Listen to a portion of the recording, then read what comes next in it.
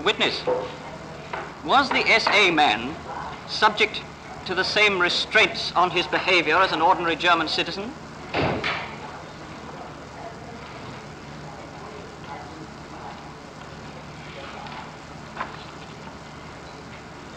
In weit höherem Maße. Der SA-Mann machte seinen Dienst freiwillig. Er stand in besonderem Maße in der Gesetzmäßigkeit bei irgendwelchen Übertretungen. Und außerdem habe ich persönlich als Chef des Amtes Soziale Fürsorge jahrelang erlebt und die Arbeit damit gehabt, Tausende von SA-Männern erst Zug um Zug in Arbeit zu bringen, dann sie da und dort irgendwie zu fördern. Und ich habe in einem großen Fürsorgeapparat lange Jahre und selbst bis in die letzte Zeit hinein viele arme und bedürftige SA-Männer betreuen müssen.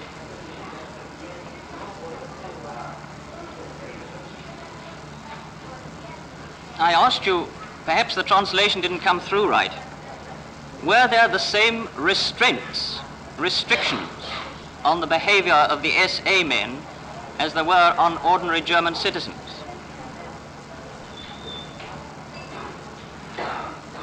Herr Anklagevertreter, ich bitte mir zu sagen, welche Beschränkungen Sie meinen. Ich kenne keine wesentlichen Beschränkungen oder Beschränkungen, wie Sie äh, Well, your answer is von no. Ihnen äh, äh, Is your answer no? angenommen werden. Is your answer no? There were no restraints. Ich, ha ich habe yes? eine Frage gestellt, Herr Anklagevertreter. Welche Beschränkungen der SA-Mann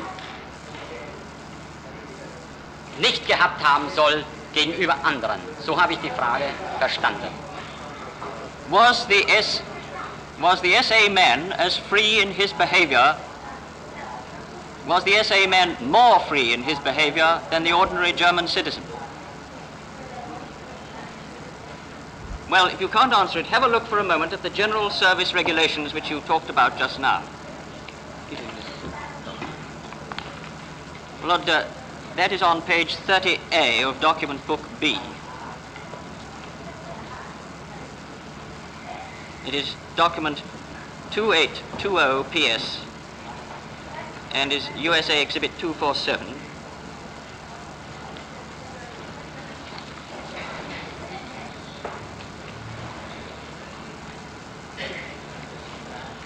Look first at Article 1.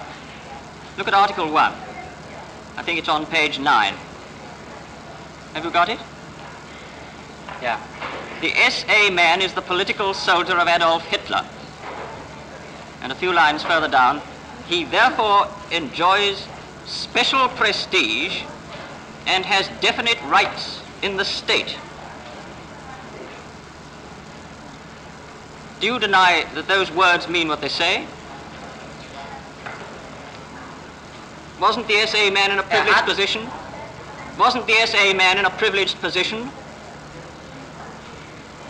Ich kann nur sagen, dass soweit ich SA-Mann war und soweit ich die SA-Männer kennengelernt habe, der SA-Mann nicht in einer privilegierten Stellung war.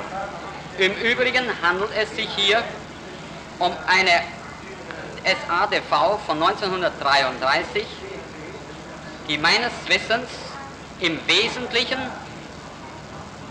34 außer Kraft gesetzt wurde und ich persönlich I don't care when it was rescinded. It was issued on the 12th of December 1933, wasn't it? And that was after the Nazis were in power. Well, you can see it says so on the top of it. Tell me what those definite rights in the state were that the SA man is said to have by Article 1. What were the definite rights in the state? What did it mean? Every SA man read that book? Wenn der SA-Mann im Rahmen des Staatsdienstes oder Polizeinotdienstes eingesetzt war, hatte er natürlich die entsprechenden Rechte im Rahmen dieses Notdienstes oder dieses Dienstes. Well, you can't tell me what they are, I suppose. Well, look on at Article 10 on page 13. You've got Article 10, page 13. 10, yeah. Do you see there? The exalted position of the SA man may not be degraded by insulting, slighting, or unjust treatment. How was the SA man exalted above any other German citizen?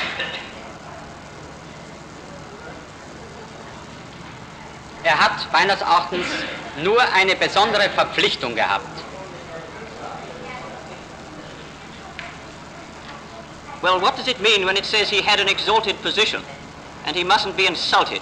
He could insult other German citizens, couldn't he?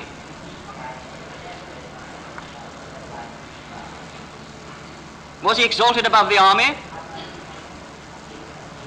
Was the SA man exalted above the army? Yes or no?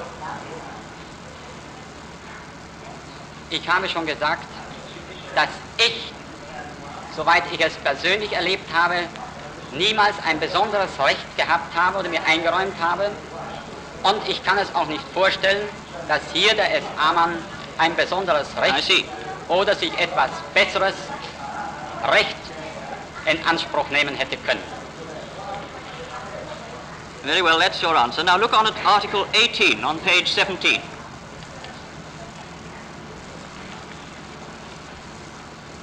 The SA man may use weapons which are entrusted to him only in the execution of his service or for legal self-protection. Now, I want you to tell me what aspect of the SA man's service might require the use of weapons other than self-defense.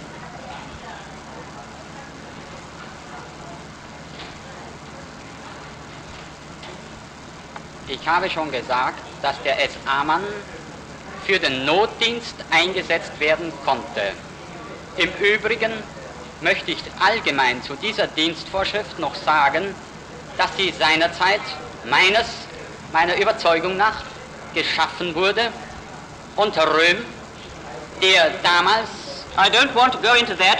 Röhm was chief of staff of the SA, and what he issued presumably was law for the SA.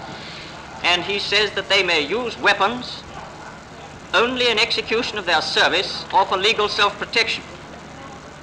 Now I ask you again, apart from self-protection, what, what case could there be where the SA man's service should require the use of a weapon? If you can't answer, say so.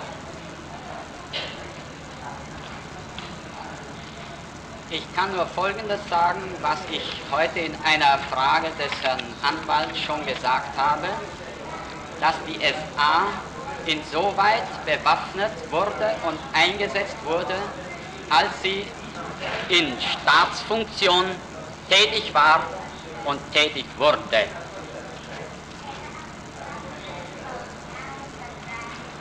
Are you suggesting that the purpose for which they might use their arms might be a military purpose then?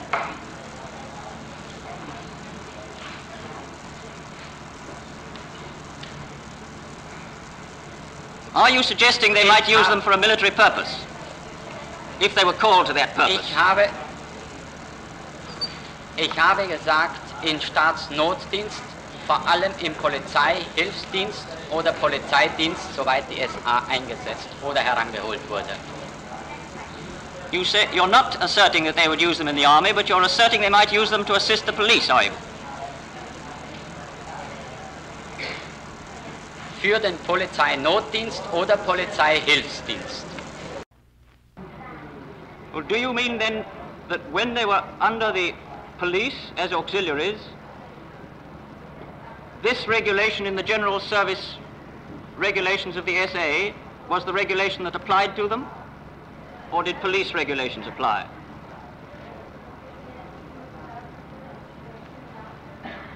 Did they take the command of the SA or did they take the command of the police when they were auxiliary policemen? That's what I want to know.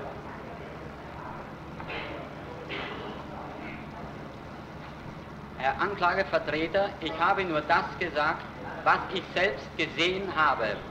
Was im Einzelnen hier nach den Dienstvorschriften festgelegt worden ist, entzieht sich meiner Kenntnis und der SA-Mann hat, soweit ich es erlebte, eben diese Waffen bekommen oder wurde bewaffnet, soweit er eben im Staatsnotdienst oder Polizeinotdienst, damit gemeint, eingesetzt war.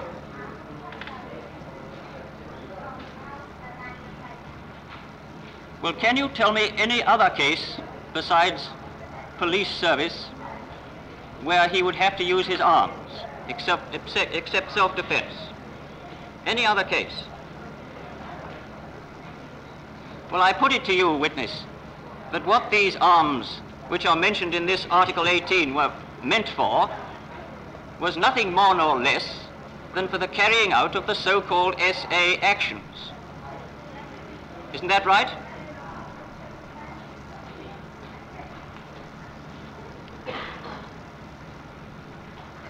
Ich habe nur immer wieder zu betonen, dass meiner Auffassung nach und so wie ich es gesehen Well, habe, uh, der es you can answer the question. It's either right or it's wrong. You can say, been in the SA all this time.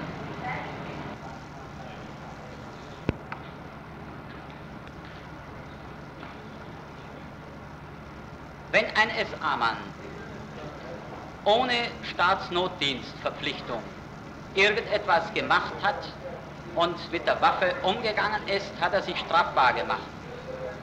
Im Übrigen ist der SA-Mann nur im Rahmen des Notdienstes eingesetzt worden. The SA man, I put it to you, became liable for punishment if he used his weapon for a purpose that the SA did not approve of.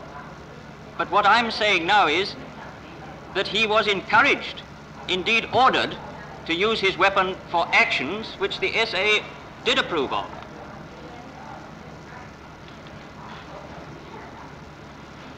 Well, if you can't answer that, I'll leave it. Look on in that little book to one more thing.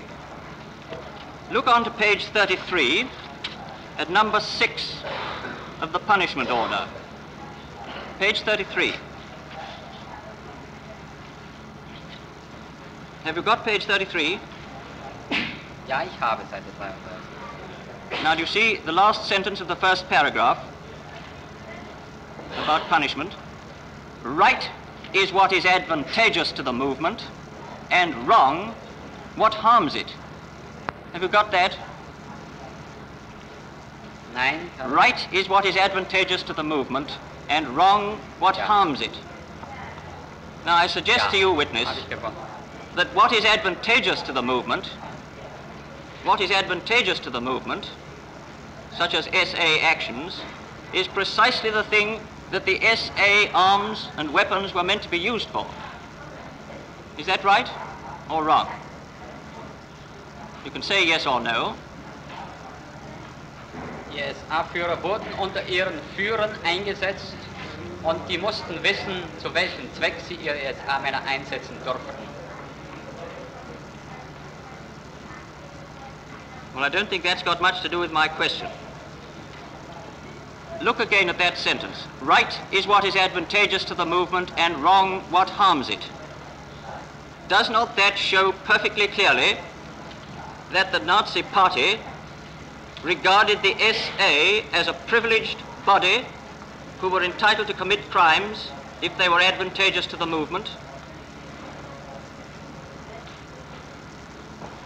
Der SA-Mann wurde ja geführt und er konnte ja nicht nur, weil er diese Dienstvorschrift hatte, nun als Einzelperson handeln, wie er wollte.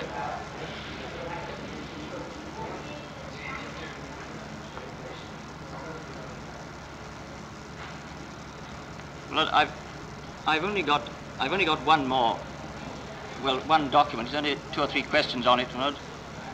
Uh, the uh, Lutzer trade. 何?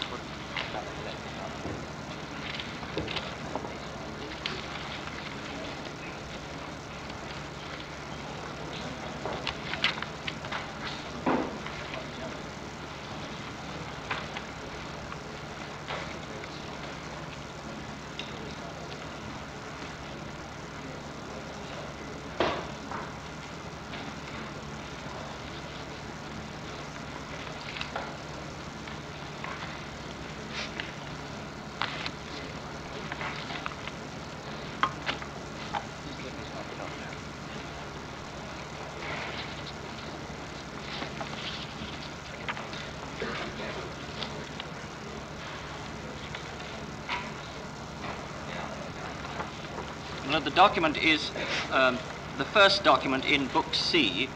It's D918. Oh, I, I beg your lordship's pardon. It's Book 16, 16B. The document is D918, and it will become GB594.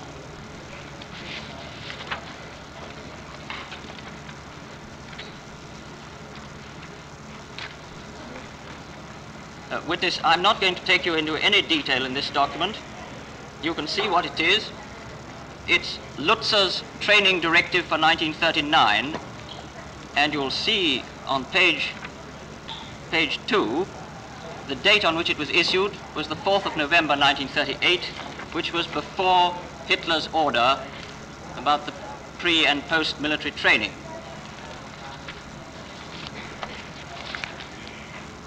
Now, I've only one point to put you, on, put you on this document.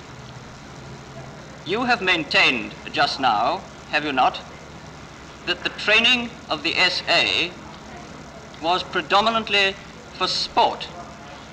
Is that right? Ich habe gesagt, die Ausbildung der SA bewegte sich in den Leistungsübungen des Sportabzeichens und zwar im Sinne einer geistigen, willensmäßigen und körperlichen Ausbildung.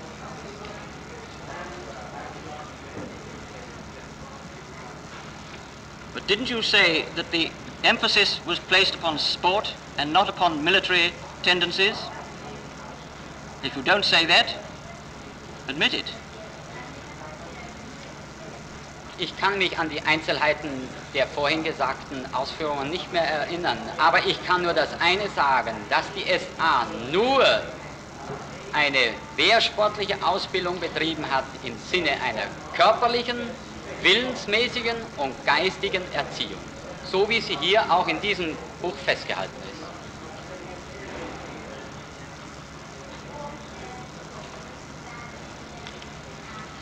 You don't deny then that that training, that that training had a military tendency behind it. Do you deny that? The training for the sports insignia, had it a military tendency behind it?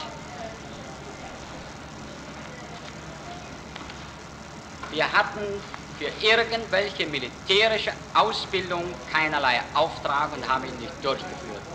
Es handelt sich hier um eine sittliche Erziehung, die ich immer wieder betonen möchte, in geistiger, willensmäßiger und körperlicher Hinsicht und sonst nichts.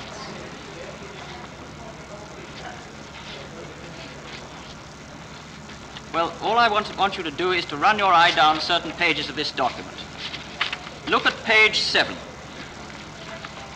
of Lutzer's Training Directive for 1939 you'll see that page 7 deals with the first training period from November 38 until the beginning of February 39.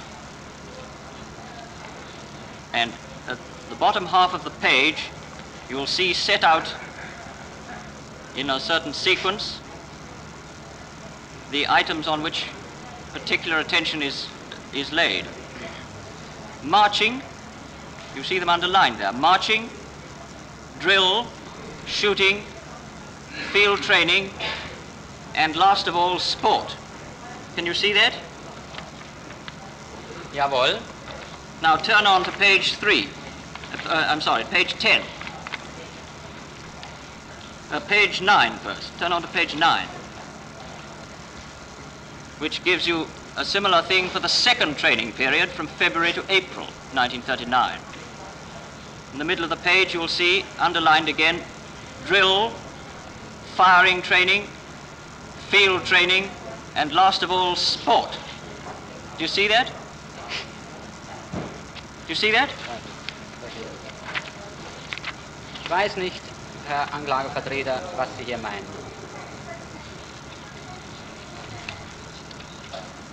Hier. Ich habe es, Herr You got it. Anklagevertreter. Well, now turn on to page 10. Turn on to page 10 where you see the same thing for the third and last training period, which is May to June 39. In page 10 you'll see the same thing. Drill, musketry, field training, and last of all, sport. Isn't it perfectly clear that sport was very much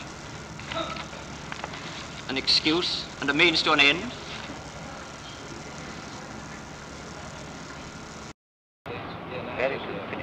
Uh, Mr. Barrington, had you finished? Uh, is there any other, um, any other the chief prosecutors want to cross-examine?